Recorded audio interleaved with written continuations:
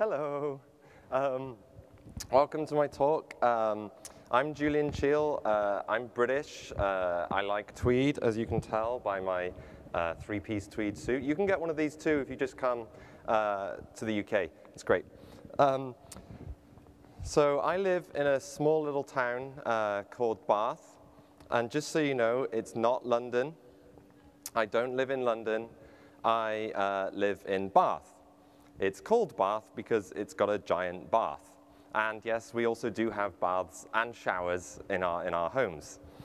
Um, I work for a small, um, as you can see, I like clothes. I work for a small clothing company uh, called Red Hat.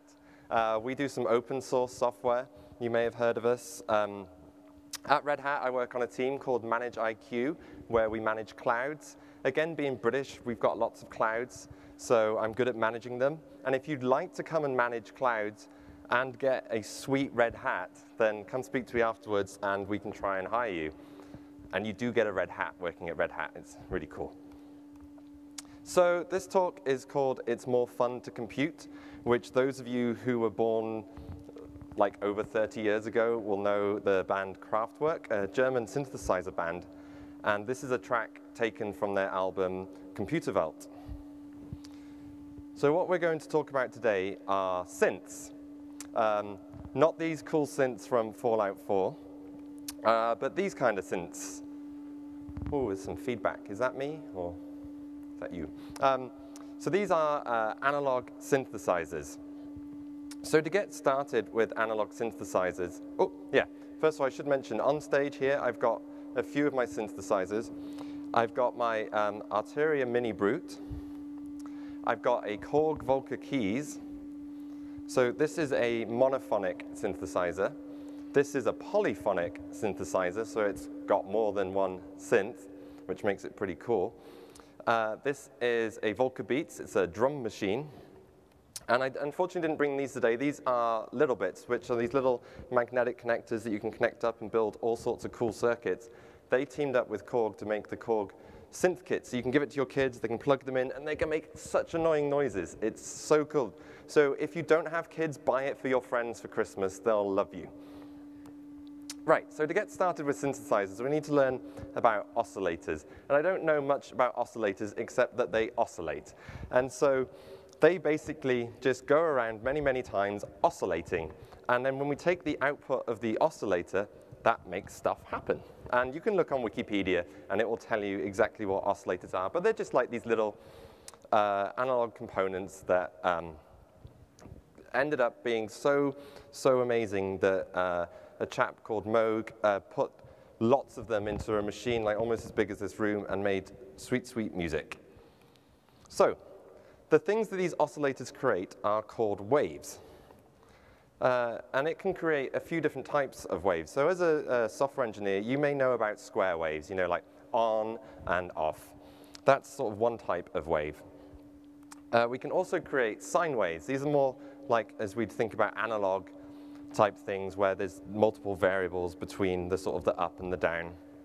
Um, synthesizers can also create triangle waves, which I think kind of look pretty cool.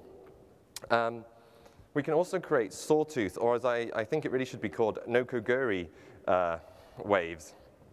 And the cool thing with saw waves is they can go one direction, and they can also go the other direction. I just switched the picture, but isn't that cool, right? It's, like, depending on which way you, you do it, we can hear some of these in a moment, the, the sound will sound different depending on which way the saw is facing. And of course, there's the dearly, dearly beloved Google Wave. May it rest in peace. And the final uh, sound that we can make is noise. So, um, but back in the day, before Netflix and Hulu, we used to watch this thing called television, where we'd receive radio waves from the sky, and in between channels, or when they turn the channels off, this is what you would get. This is noise. It's just everything, all of the waves of just everything. And uh, some people believe it originates from the Big Bang. And we can use this noise to make kind of cool music. So let's have a little demo. Right, so I've got a little app here, which I'm running in um, something called Ruby Processing, which is an audio, uh, sorry, which is a, a graphics library that you can use to create Ooh, hang on a second. Let's see, so this should be coming in from headphone port, yes, input. Ah, everything's trying to work. Hang in a second. Ah, right.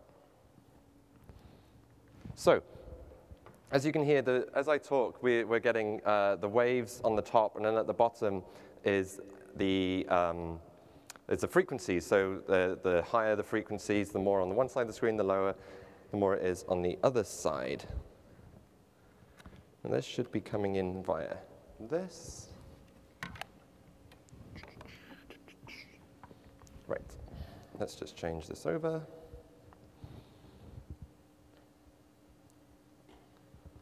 So if we play a uh, triangle wave,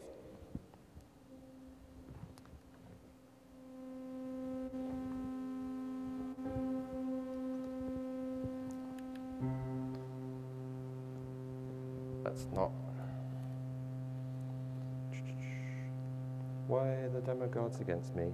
So unfortunately, it seems to be picking up the computer microphone as opposed to.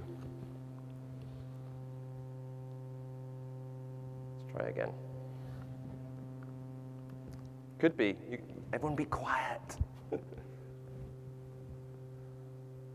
okay, let's try that. Don't use. Okay, let's try again.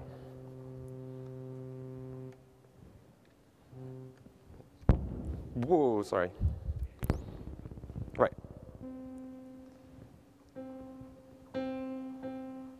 So it's, you can see it's kind of,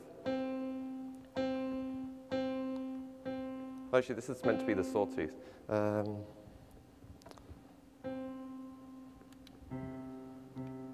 and then if we change it to a square wave,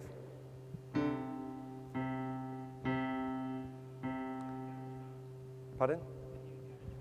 I need that in a minute. Maybe GarageBand is getting in the way. Go away, GarageBand.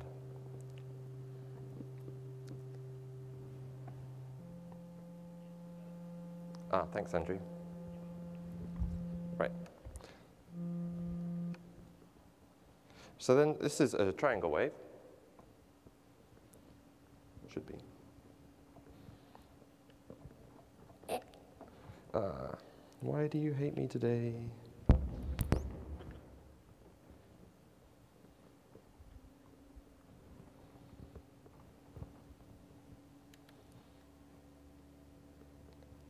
It was too low, that's why.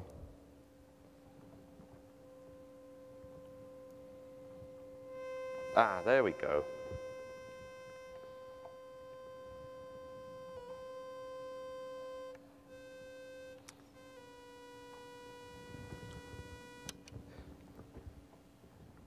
Sorry, I apologize.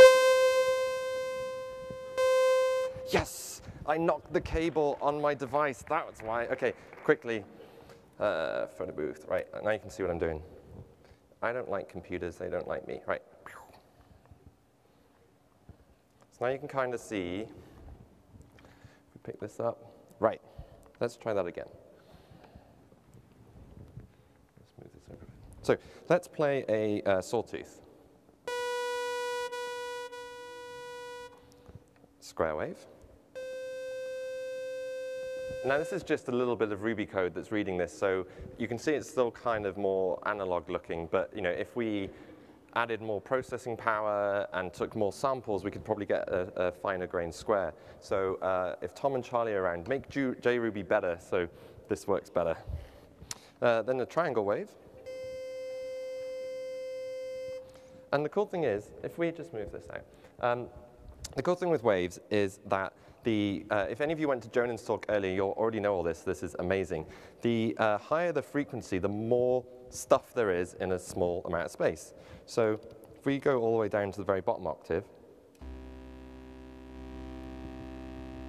you can see that we can only fit like two waves. If we go all the way up to a higher octave, there's lots of them. And then for those wondering, this is what noise sounds like doesn't that just take you back to the television not being on, having to wait for the cartoons to start? And then we can also mix all of the uh, waves together. Anyway, right, great. Yes, that worked. We're doing good. Okay. Let's see what else we got. Let's turn this off. Right. So, demos. So, um, so the next thing we need to learn, so we can now make sounds by pressing buttons and we can have the different waves. But we can also change the way the wave is uh, generated using what's called envelopes. We've got attack, delay, a decay, sustain, and release. I know what you're thinking, that's probably some kind of sweet uh, move on some like uh, arcade fighter, but actually it's more simpler than that. So when we were playing the sound, say for instance the sawtooth, you can just hear that it's just sort of like a constant uh, sound from the very beginning that I press the note till the time I take it off. So if we increase the attack, that means that increases the amount of time it takes to go from zero to the highest point that that sound uh, can make. Decay is the amount of time it takes to go from that highest point down to the um, level that you have set. So all of these are time, all except sustain, which is an amplitude. Um, so then sustain is uh, the, the level that the sound is playing, and then release is the amount of time it takes after you've taken your finger off the button. So if we can just see that with our super sweet JRuby app. So if we were, for instance, to increase the attack and delay, it will take a little bit longer to make the sound. So it kind of, you can hear it, sort of gradually gets to the sound. And then if we were to add some release, when I take my finger off, the sound will still keep going. So you can see that the sounds are sort of carrying on uh, with each other. So that's really cool. So that with using just um, the different waveforms and the different uh, envelopes, you can basically create any sound, that, any musical sound that you've ever heard of, which is why these are called synthesizers, because they synthesize sound. Three blind mice. cool. Right, where's my slideshow? So you're thinking, this is all really interesting. We would love to hear you playing your music all day, Julian. And I'm like, I know. But you're like, this is a Ruby RubyConf, so let's talk about Ruby. So I don't know if any of you heard of a application called Sonic Pi, or as I prefer, Sonic Pi. Um, it's a Ruby application to uh, make music and it runs on top of something called SuperCollider, which is a digital synthesizer. So all of these instruments here are analog. Everything is created via circuits, and you're actually changing the electricity as it goes through, and it's all really, really cool. Whereas digital synthesizers all live inside my laptop, and I don't know how any of it works because computers. Anyway, with that kind of little bit of knowledge we had about um, the different waves, uh, the different notes like on the keyboard and using the, the, envelopes, we can now see there's this little bit of Sonic Pi code. So what, when Sonic Pi came out, I was like, cool, I'm a musician, I love playing instruments, I love code, let's go and do these two things together. And then I was like, ah, how do you make actual good music with code? This is really, really hard. So let's have a, uh, have a little, let's close this so it doesn't eat computer. Right. So here's Sonic Pi. So you start it off by writing play 60. So 60 is just a note. I think it should be middle C, possibly. And you can also use the uh, literal names. And so if we run this, if we turn it up, yes, that's playing middle C.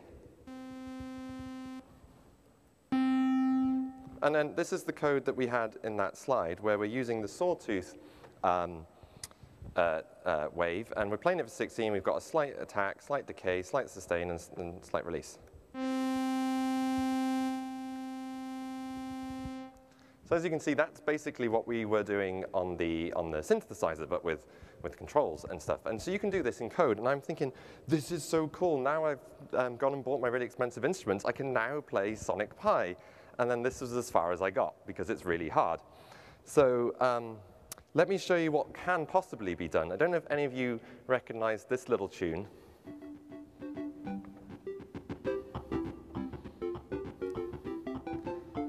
This was written by one of the Sonic Pi um, uh, contributors. And as you can see, it's just Ruby code. And the great thing with Sonic Pi is it's meant to be able to, that, so like 10-year-olds can, can write this. So if a 10-year-old can write threaded Ruby code, then I don't know why we can't. so there's not much to this, right? It's just some notes playing and changing like the envelopes and the, the volume and all sorts. And so this is what we can eventually get up to. But as you can see, so far, I'm just here. okay, what's next? Let's have a look. Oh yeah, I did the demo. Right, okay. So you're thinking, okay, that's totally sweet. So now we can go over here and play instruments. We can go over here on the computer and write code in Sonic Pi. But wouldn't it be cool if we could write code on the computer to talk to the instruments? I wonder if that's possible. Well, it turns out it is. There's a protocol called MIDI. So as I was saying, these are all analog instruments. And back in the ye olde days, you used to connect them with basically electrical cables, and you would send either like plus 12 or minus 12 or anything in between, and that would tell them to do different things, but different manufacturers use different voltages and different cables. So the music industry sta uh, standardized on MIDI, which stands for Musical Instrument Digital Interface. But before I talk about MIDI, I'd like to talk about this lady, Wendy Carlos. She is an amazing musician. She uh, jumped on the synthesizer bandwagon when it came out and wrote some phenomenal music. Uh, her first album, which really brought synthesizers to the mainstream, was Switched on Bach. It's classical music, but made with synthesizers. And so you might not be so much into, into Bach, and so you might not have heard of this, but you've probably seen or heard of the film Clockwork Orange. She also wrote the, the music um, for this. And if you're not into dystopian uh, government futures, then she also wrote the uh, theme music for Tron. And so this is all just amazing films with amazing music that you can do with like these instruments and hopefully Sonic Pi. So that's really, really cool. But anyway, back to MIDI. So MIDI uh, is a serial protocol. It's like you need two cables, one to send data one way, one to get it the other way, and it's a five-pin uh, cable. Because this is the 80s, right? We didn't have USB. You can now run it on USB, but it still acts as if it's these two individual cables. So a MIDI message is pretty simple. You have the status byte, which is the note. So um, whether it's on or off, and you can control various other things as well. But that's basically whether someone, because all of MIDI is based on keyboards. So it's like if you press a note and you take it off, you get two messages for that. Then you have the note number. That's where in the keyboard uh, you're playing, which is what we saw earlier from Sonic Pi. 60, or C3, is the note. And the last one is velocity. Some keyboards, you can, the harder you press it, the louder the, the sound, and the softer you press it, the gentler and quieter the sound. So some keyboards um, support that. So you can just send uh, uh, this data across the wire. So let's see what we can do with that. So I've written a um, couple of Ruby gems. So I have, um, where is it gone? So I, as I said, I have these, um, I named them already. Ah, here we go. Yes, excellent. So let's get the camera on so you can see. Oh yeah, ignore my cat photos. Don't look at those. so this is my synthesizers here. These, this is the uh, Korg Volca Beats, uh, sorry, Korg Volca Beats, and this is the Korg uh, Volca Keys. And Korg have got like five different instruments, all of this size, and they all support MIDI. And so I've written a Ruby library that um, wraps these, oh, can you see that code? Is it big enough? So we create a new, uh, new device, we find the first one that is available, and then we can set the sustain to maximum. Uh, we can play the note C4, then we can play the note C4 and actually change the envelope, because even though these are analog synthesizers, all of the controls are digital, so we can actually change that via uh, Ruby code, and then we can play a chord. So if I just tinker about with all of this stuff. Um, change this there. Hopefully, if we play this code, it should make some noises. Let's go to the right folder, right CD, So this is available on uh, GitHub, and I would love pull requests to add all of the other instruments, and I'd love pull requests to get rid of all of my uh, terrible code and bad spellings, because I'm British, so everything has extra U's in it and S's. So. So if we run this, let's see what happens. Hopefully something will. Nothing happened. Yay. Oh, was it? You could hear it? Cool. Okay, then let's fix that. Thank you. I thought I'd messed up then. Right. Yay! that wasn't very musical, but we basically sent music notes to an, uh, an actual instrument via Ruby code that I wrote, and I'm a terrible developer. Let's just do that again. Yes! So, that's really, really nice and simple. But you don't really want to be writing code in Atom to make music because it's very sequential, and then you've got to then have loops, and, and you've got to then deal with threads and timing and computers.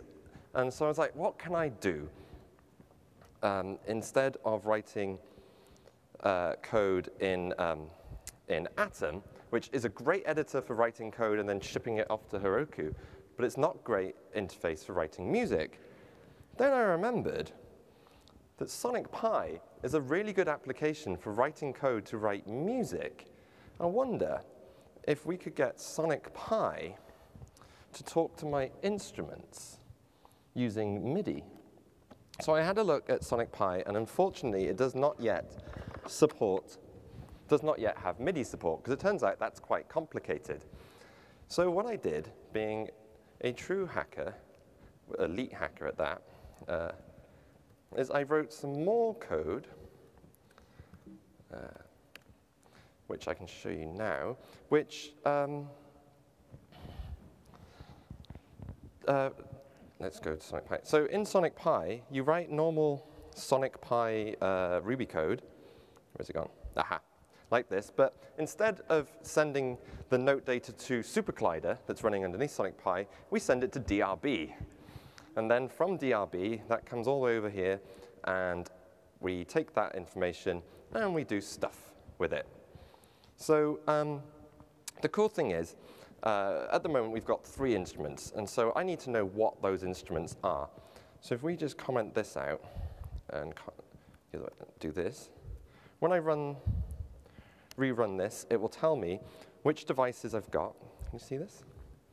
So I've got uh, my mini brute, and as you can see, I've got two uh, mini brutes there. That's because I was saying uh, it, uh, time, ah, time. The data goes both in and out, um, whereas the uh, Korgs are only inputs. But you're thinking there's no Korg uh, Volca keys on here. And that's because I've got a tiny little uh, MIDI switch. And so the problem is, every time you plug in more and more MIDI devices, they all change their names and where they are in the order, and you could have them connected via multiple uh, uh, switches. So in our library, what we do first is we run this command here to see which devices there are. Let me comment that out. Then, because this is Ruby, we then stick it in a YAML file. So now I know what the devices are. So we, we give it a name and a key, so we can call it later what the device is and which port it's on. So that's pretty cool. So all this does is just create a um, DRB server that basically reads the YAML file, takes the uh, data from Sonic Pi, and sends it off to whichever device uh, call for. So let's go back to Sonic Pi. So um, there's, there's a slightly famous song that uh, is included in Sonic Pi, which you may recognize.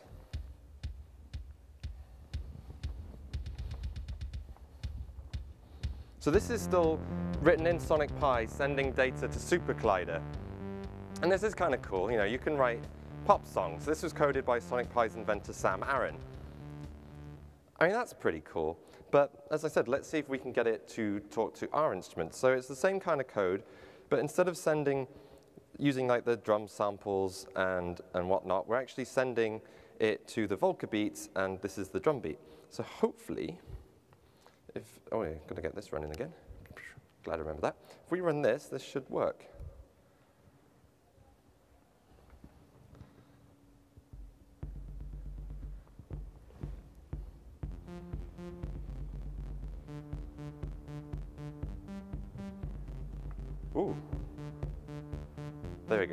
So this is now running in um, Sonic Pi, sending MIDI notes to my MIDI instruments. And if you don't believe me, we can comment out this bit here. And the drum, oh, and the drum stopped. Then we can put this back again.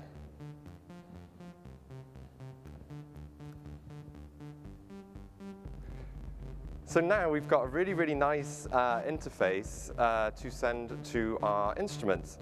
And then over here on the output, um, you'll see we're getting the note information and which device that we're send, sending it to. Um, the next step of the library would actually be to hook this up to my Korg Volcabeats library, so then we could actually change the envelopes and which instruments we're playing, and um, because this uh, polyphonic synth has multiple instruments,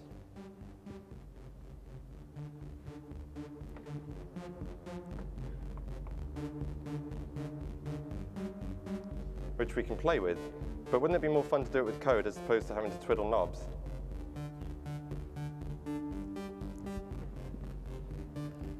Right, that's enough of that.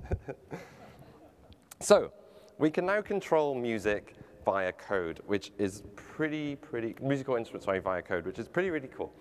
So now you're thinking, right, that's cool. We can write some pop songs, uh, go on uh, America's Got Talent. But what, that's not going to be useful for my day job. And I'm like, yeah, that's true. So what else could we do? Well, then I thought about Minitest. Minitest has this option of creating what's called a reporter, where you can take the data from your, your tests and do something with it, like either make them uh, really pretty output or send it all to dev null so you don't know about your tests. Um, and so I thought, wouldn't it be cool to have like an audio system in your office that uh, would let you know of the status of your tests. So let's have a look at that. So where is it? Musical reporter. So first of all, I've just written a very basic test, uh, uh, a set of tests. So like all good programmers, um, my test part, I just write assert true when I want my test to pass, and assert fail when I want my test to fail. Because otherwise, it'd be really hard, right? You'd have to write actual code. So if you do this, your tests will always pass. It's so much better. Then I have a, uh, a, a, a, reporter that um, grabs the MIDI device, let's unplug these, and then when the test um, passes, it sends one note. When it fails, it sends another note. So let's see if that works. Let's close this. Are we? CD, oh, demos. CD, musical reporter. Right.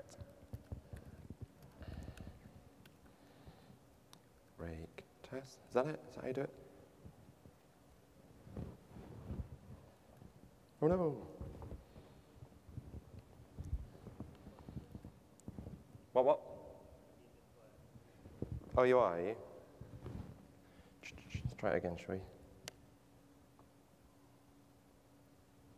Are you just hearing things, Andrew, maybe? Ah. Anyway, um, this should be sending notes, which it appears not to be. Oh. oh, yeah, there is something there. It's just super, super quiet, wasn't it? Well, that could be buzzing. Anyway, um, we can play with this afterwards. So the cool thing is you'd think, oh, I know, if, if my test can play a song every time a test is run, maybe you could write a song in Minitest because you know you could set it up so when they pass they make this, when they fail they make this. There's only one slight problem with that, is Minitest and RSpec and all the other testing libraries, they randomize your tests, which is so annoying because it means you can't make a nice sequential piece of music in your uh, Ruby testing framework. Maybe they weren't built for that, I don't know, but maybe that's why. okay, so we should have hopefully have played some music, but we didn't. Um, the next thing is, you know, you, you, you, go to work on Monday after this conference and they're gonna be like, hey, what did you learn about uh, Ruby? Because we want to make our code faster, more performant. And I'm like, oh, don't worry about any of that. Anyone can go off and learn how to make code faster. Aaron Patterson did it really well by deleting all his code. It was super, super fast. Um, what we want to know is how our code actually sounds, whether, you know, the algorithms we choose, uh, does it sound better than a different algorithm? And so have you ever thought, what does quicksort and bubble sort sound like? Like we know, we've seen graphs of how they look, and we know kind of vaguely how they work. But wouldn't it be cool to know how they sound?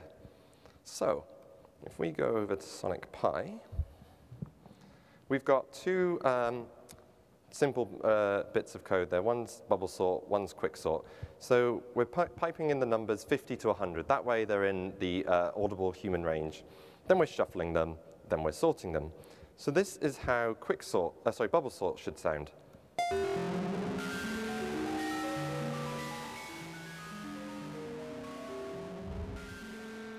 So every time you run bubble sort on your computer, that's what it's got to listen to.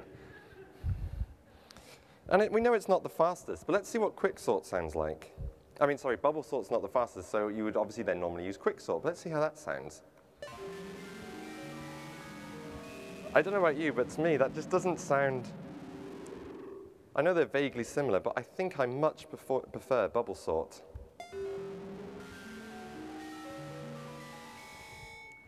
So now you know that when um, it comes to choosing which algorithm you use or, or method, just maybe pipe it through Sonic Pi to see you know, how the, the poor computer feels when it's having to listen to this code. okay, right. Let's see if, so if we go back here, I'm running slightly ahead. Where are we? Oh, wrong folder. Right.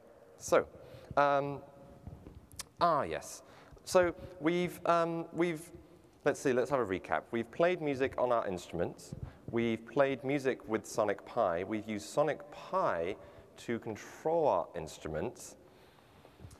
And you're thinking I've obviously left out the most important thing. Can we control Sonic Pi from our instruments? Because as you remember, I said that I, um, started playing with Sonic Pi, but I wasn't very good at code. So then I went back and played with my instruments. And when I got a bit better at them, I was able to come back to Sonic Pi and write a bit of code to control my instruments. But I really uh, prefer playing my instruments than writing code. So I wrote some code so that I could play my instruments to play Sonic Pi so I didn't have to write code to make music, if that makes sense. Right. So let's plug this in instead. So here I have a um, USB uh, MIDI keyboard. So this doesn't actually generate any uh, audio, it just sends uh, MIDI notes. So if we plug that in, plug that, right. So if we run this code, let me show you the, oops, ah, wrong file, that's why, uh, Ruby Sonic MIDI, right.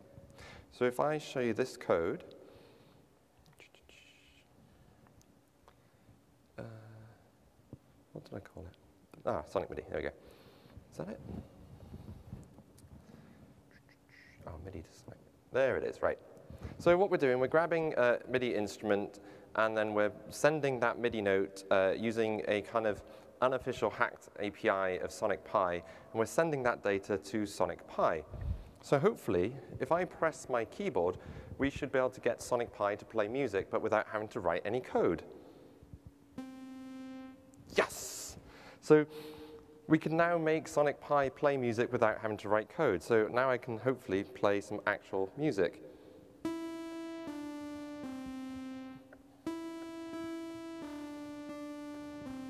Yes! But as you can see, there's a tiny bit of a delay from pressing the keys uh, and it's sending it to Sonic Pi, and then Sonic Pi playing the, the, the music, and there's also a lot of code and cables when really I could just do the same thing on an instrument, but that wouldn't be fun. So there's that. So now, um, but then that got me thinking, I haven't done this yet, but it made me think, if you can control the computer via a keyboard, you could do programming with a keyboard to write code. I don't know if anyone's thought of this yet, but I think that could be really, really cool. So that's my idea. Don't steal it. I'll share the proceeds with you. Okay, right. So now that I've got slightly better at um, writing code and playing my instrument, I made a little um, dance song, if I can find it, which I can't. There it is. Um, which is really, really simple. It's not doing anything uh, complicated. It's just um, sending some different drum beats, and then, uh, is it this one? Yes. Yeah, and then it's sending some different instrument notes to my uh, three synths my Volca keys, and then, oh, is this not, no, it's, it's not the file. Oh no, is it this one? Oh, maybe I deleted the wrong thing.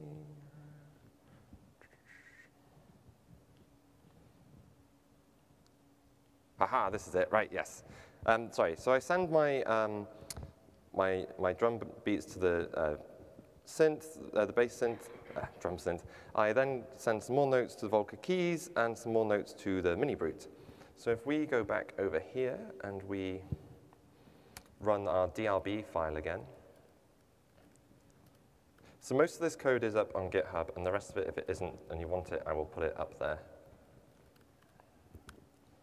Right, so this is our DRB server, so that's running. So hopefully, if we run this, this should be able to control three instruments at the same time. Fingers crossed.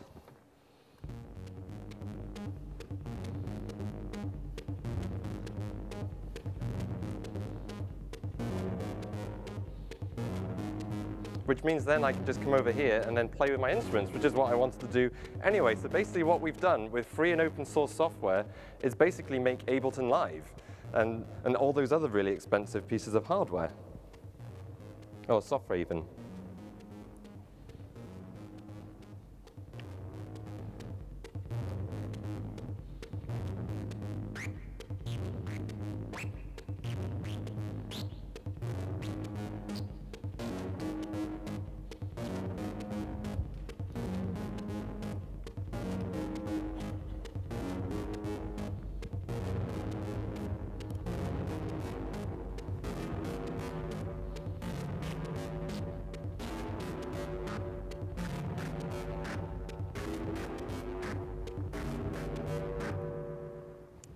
Thank you very much.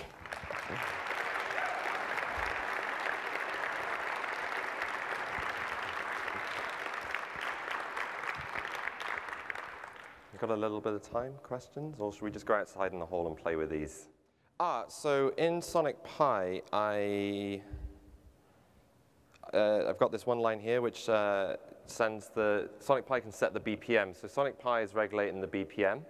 However, the problem is because DRB returns data back, it being Ruby, um, you'll see over if I extend this out, there's all these timing warnings running slightly behind because um, Sonic Pi is just sending data so fast that um, it's then wait, DRB is trying to respond back and Sonic Pi is waiting. So this is why like MIDI's hard, but yeah, uh, not MIDI, so yeah, MIDI and Sonic Pi. But yeah, so I'm controlling the BPM via Sonic Pi.